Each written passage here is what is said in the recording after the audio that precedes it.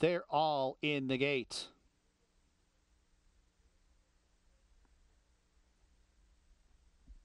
And they're off. Lily's journey broke slowly.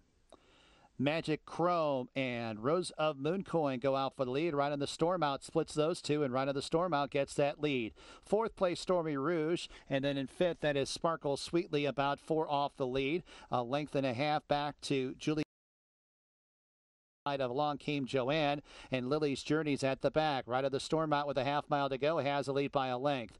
Magic Chrome chasing in second. Rose of Mooncoin towards the inside in third. And then in fourth, that is Stormy Rouge to the outside of Sparkle Sweetly. Then two lengths back to along came Joanne to the inside of Juliet's Kitchen. And Lily's Journeys at the back of the pack and about seven and a half lengths off the lead. Magic Chrome to the outside of Ride in the Storm out. And these two will be nip and tuck as they reach the top top of the stretch. Stormy Rouge is in the purple blinkers on the outside. Third, Rose of Mooncoin will try and punch through at the fence. Then it's Sparkle Sweetly in fifth. One furlong to go, and it's Magic Chrome. Magic Chrome has the lead over Stormy Rouge. Rose of Mooncoin's up the inside third. 16th to go. It's Magic Chrome on top of Stormy Rouge. Magic Chrome.